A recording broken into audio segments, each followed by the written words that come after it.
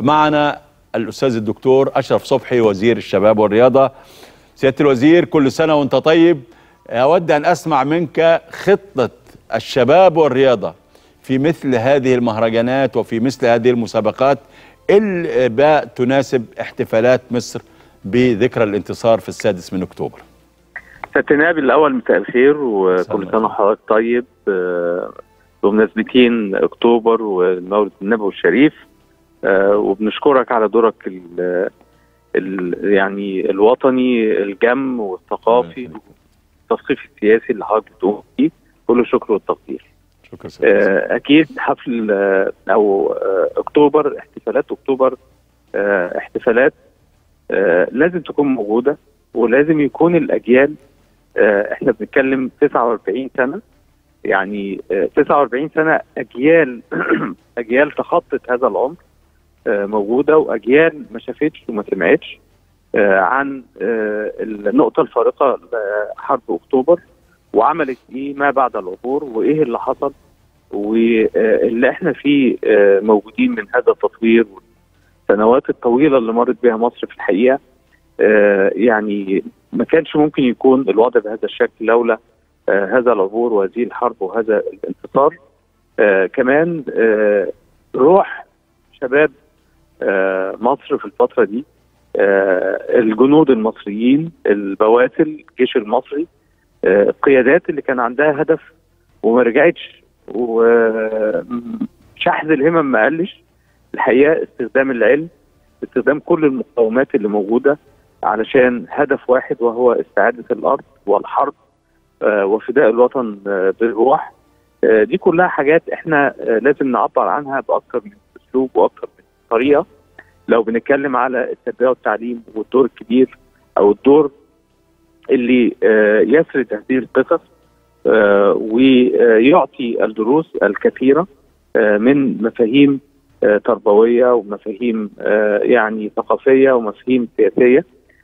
كمان إحنا كمان دورنا كوزارة الشباب والرياضه الحقيقة لا يقل دورا. كل سنة لازم نعمل ده أكثر وأكبر بشكل كبير. كي لا ننسى وكي لا تنسى الأجيال عن ما قامت به القوات المسلحة المصرية اللي شاء القدر إن هي تقوم تقوم بدور تاني في 30 6 الحقيقة وتكون موجودة تحمي الشعب المصري من الداخل وتحمي حدود مصر من الخارج.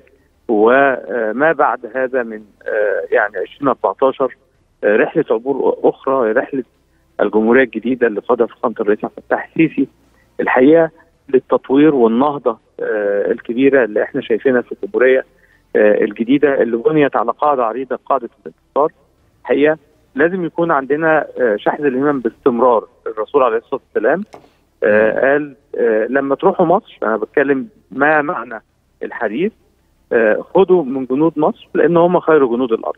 نعم. حديث الرسول لا ينطق عن الهوى إن هو الا وحي يوحى صلى الله عليه وسلم. فبالتالي إحنا بنتكلم إن إحنا بنعتز وبنفتخر لأن الجنود هنا مقصود بها الجنود وكمان الوطن والشعب. الحقيقة اللي بيخرج منه الجنود ودي اللحمة اللي إحنا بنقولها للأجيال المختلفة الصغيرة والكبيرة. علشان كده لما النهارده وزارة الشباب والرياضة الصبح من 10 صباحا فتحنا لكل المديريات على مستوى مصر 27 محافظة. كان في في نفس التوقيت ماراثون ماشي مع احتفالية رمزية بوجود المديريات والسادة المحافظين في الحقيقة. كل الشكر والتقدير ليهم.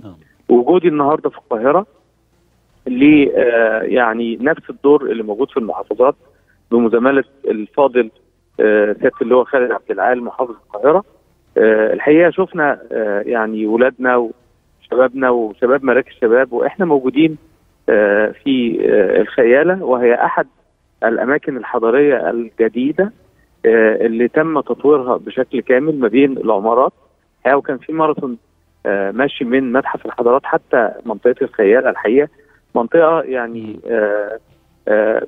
يعني مش مش قادر أوصفها من الجمال اللي موجود يعني وتطويرها. يمكن أنا ما رحتهاش في الحقيقة من ما قبل التطوير. النهارده شفتها حاجة م. حاجة رائعة وأهالينا اللي موجودين ونزلهم وكمان يشوفوا ولادهم ويشوفوا آه، مراكز الشباب بتحتفي آه، باحتفالات أكتوبر لكن في, شكل رياضي وشكل احتفالي آه، الحقيقة دي كلها حاجات الشكل المباشر والشكل غير المباشر الاثنين مع بعض بيدوا الولاء والانتماء لولادنا وشبابنا